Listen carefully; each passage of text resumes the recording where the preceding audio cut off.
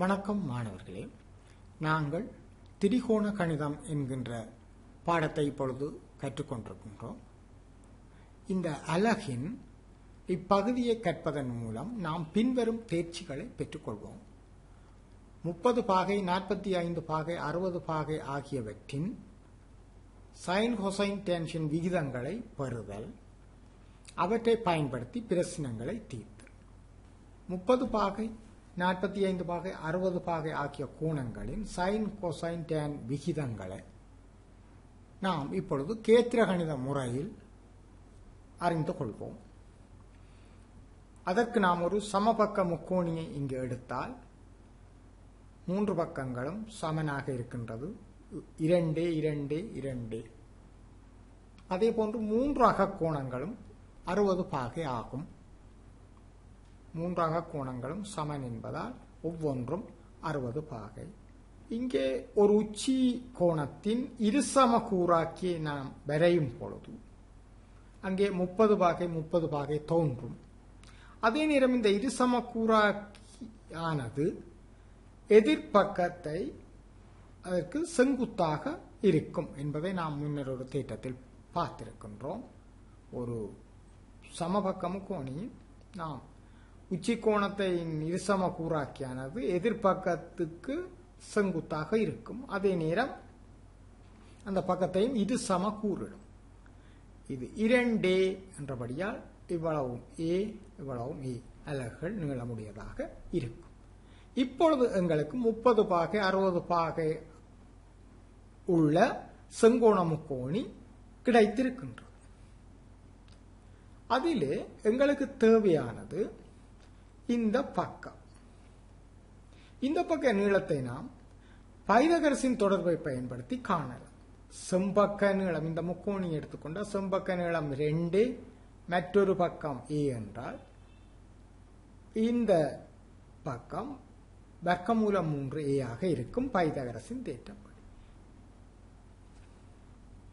எனவே நாம் இந்த ஒரு செங்கோண முக்கோணியை கருதி முப்பது பாகை அறுபது பாகை ஆகியவற்றின் சைன் கொசைன் டென்ஷன் விகிதங்களை எழுதி கொள்ளலாம்.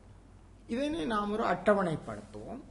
இங்கே பார்க்கின்ற பொழுது முப்பது பாகை நாற்பத்தி ஐந்து பாகை அறுபது பாகை இவற்றின் சைன் கொசைன் டென்ஷன் விகிதங்களை இங்கே கண்டு விட போகின்றோம். இப்பொழுது முதலில் நாம் சைன் முப்பது பாகை சைன் முப்பது பாகை என்று சொல்லும் பொழுது இங்கே இந்த செங்கோண முக்கோணி எடுத்து கருதும் கோணம் முப்பது பாகை. இதனுடைய சைன் என்று சொல்லும் பொழுது அதனுடைய எதிர்ப்பக்க நீளத்தின் கீழ் செம்பக்க நீளம். எதிர்ப்பக்க நீளம் ஏ செம்பக்கம் ரெண்டு. இதனை சுருக்கினால் எங்களுக்கு இரண்டில் ஒன்று என கிடைக்கும். எனவே சைன் முப்பது இரண்டில் ஒன்று ஆகும் அதாவது அடுத்ததாக சைன் அறுபது பாகையை பார்ப்போம். கருதப்படும் கோணம் அறுபது பாகை. இதனுடைய சைன் என்று சொல்லும் பொழுது எதிர்ப்பக்கம் வர்க்கம் மூலம் மூன்று முக்கோணியின் செம்பக்கம் இரண்டு. இதனை சுருக்கும் பொழுது வர்க்கம் மூலம் மூன்றின் கீழ் இரண்டு. சைன் அறுபது சைன் அறுபது பாகை வர்க்கம் மூலம் மூன்றின் கீழ் இரண்டு. அடுத்ததாக கொசைன் முப்பது பாகையை கருதுவோம். கொசைன் முப்பது பாகை. கருதப்படும் கோணம் முப்பது பாகை. அதனுடைய கொசைன் விகிதம் என்று சொல்லும் பொழுது அதனுடைய அயல்பக்க நீளத்தின் கீழ் செம்பக்க நீளம். அயற்பக்க நீளம் வர்க்கமூலம் மூன்று ஏ சொம்பக்க நீளம் இரண்டு சுருக்கும் பொழுது வர்க்கமூலம் மூன்றின் கீழ் இரண்டு எனவே கொசைன் முப்பது வர்க்கமூலம் மூன்றின் கீழ் இரண்டு இனி கொசைன் அறுபது பாகை காண்போம் கருதப்படும் கோணம் அறுபது பாகை இதனுடைய கொசைன் விகிதம் என்று சொல்லும் பொழுது அயற்பக்க நீளத்தின் கீழ் செம்பக்க நீளம் இதனை சுருக்கும் பொழுது இரண்டில் ஒன்று எனவே கொசைன் அறுபது பாகை சமன் இரண்டில் ஒன்று அடுத்ததாக டேன் டேன் முப்பது பாகையை கருதுவோம். கருதும் கோணம் முப்பது பாகை. இதனுடைய டேன் என்று சொல்லும் பொழுது எதிர்ப்பக்கத்தின் கீழ் அயற்ப அதனை சுருக்கினால் ஒன்றின் கீழ் வர்க்க மூலம் மூன்று. எனவே டேன் முப்பது பாகை. இதற்குள் வரும். ஒன்றின் கீழ் வர்க்க மூலம் அடுத்ததாக டேன் அறுபது பாகை.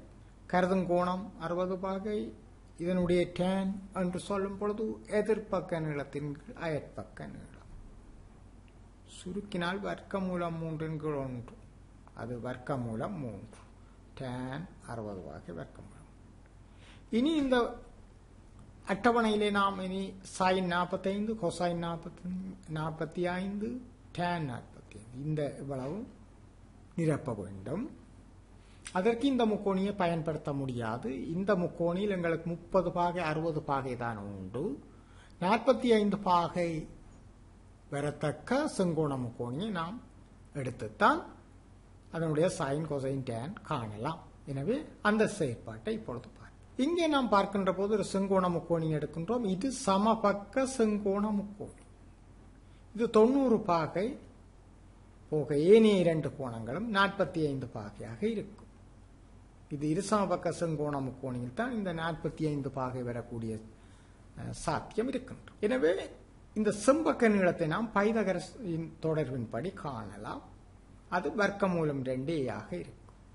செங்கோணத்தை ஆக்குகின்ற பக்க நீளங்கள் தெரியும். செம்பக்கத்தை நாம் பைதகரசின் தொடர்பு மூலம் காணலாம். இதை வைத்துக்கொண்டு சைன் நாற்பத்தி ஐந்து கொசைன் நாற்பத்தி ஐந்து டேன் நாற்பத்தி ஐந்து என்பதை இப்பொழுது காண்போம். சைன் நாற்பத்தி ஐந்து கருதும் கோணத்தின் எதிர்ப்பக்கத்தின் கீழ் சம்பக்கம். இந்த அட்டவணையின்படி எதிர்ப்பக்க நீளத்தின் கீழ் சம்பக்க நீளம்.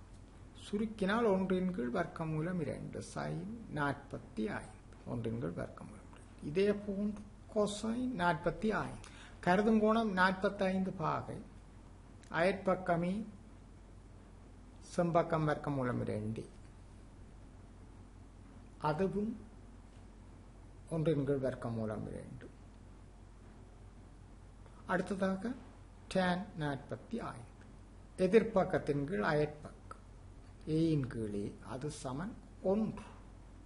Tangent forty five degree one இப்பொழுது நாம் முப்பது பாகை நாற்பத்தைந்து பாகை அறுபது பாகை ஆகியவற்றின் சைன் கொசைன் டென்ஷன் வீதங்களை கேத்திர கணித முறையின்படி கண்டு இங்கே அட்டவணைப்படுத்திவிட்டோம்.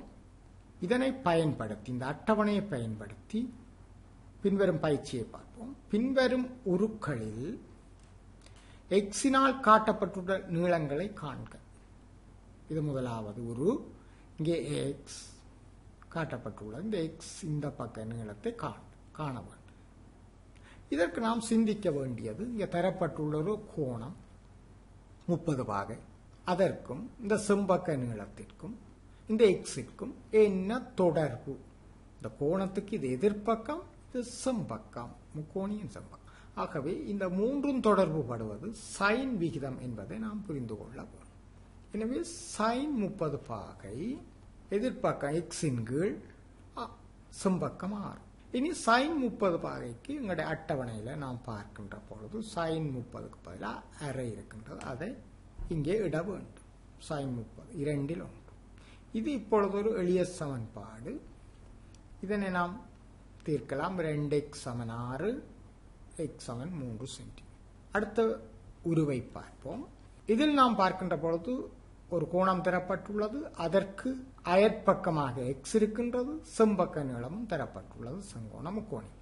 எனவே இந்த எக்ஸை காண்பதற்கு பொருத்தமான விகிதம் சைனா கொசைனா டேனா என்று பார்க்கின்ற பொழுது இந்த கோணத்திற்கு இது அயற்பக்கமாக இருக்கும் இது செம்பக்கமாக இருக்கிறது எனவே நாம் பயன்படுத்த வேண்டிய விகிதம் ஹொசைன் என்பதை தீர்மானித்து ஹொசைன் தேர்ட்டி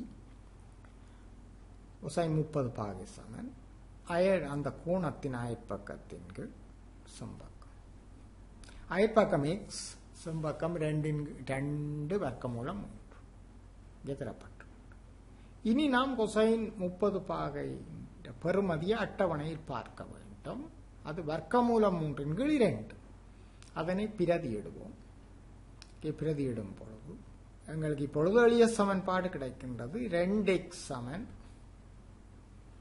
இதை பெருக்கும் பொழுது குறுக்கு பெருக்கமாக நாம் எடுத்துக்கொண்டால் ரெண்டால் எக்ஸை பெருக்கினால் ரெண்டு எக்ஸ் இடப்பக்கம் வர்க்கமூலம் மூன்றினால் இரண்டு வர்க்கமூலம் மூன்றை பெருக்கும்போது ஆறு. வர்க்கமூலம் மூன்று வர்க்கமூலம் மூன்றால் பெருக்கும் போது மூன்று அதனை இரண்டால் பெருக்கும்போது ஆறு.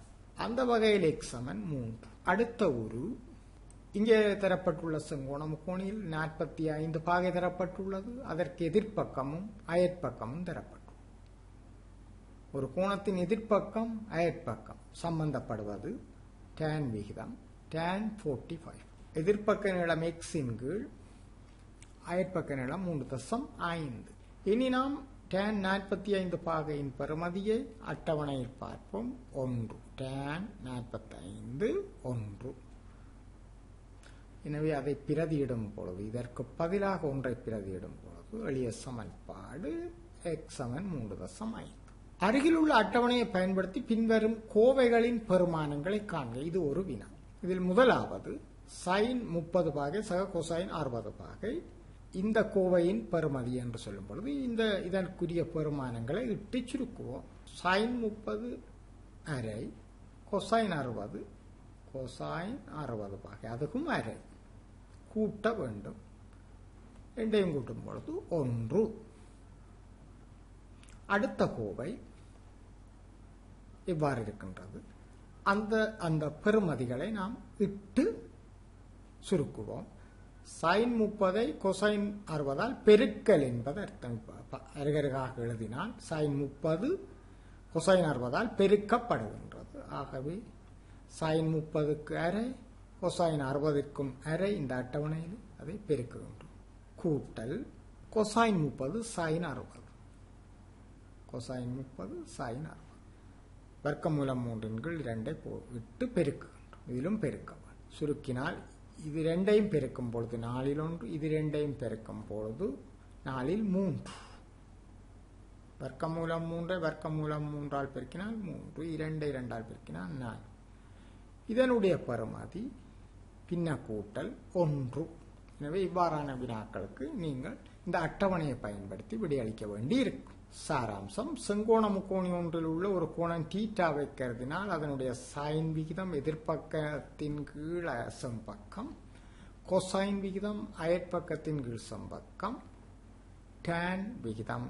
எதிர்ப்பக்கத்தின் கீழ் அயற்பக்கம் மேலும் முப்பது பாகை நாற்பத்தி ஐந்து பாகை அறுபது பாகை ஆகிய கோணங்களின் சைன் கொசைன் டேன் விகிதங்கள் இங்கே காட்டப்பட்டுள்ளது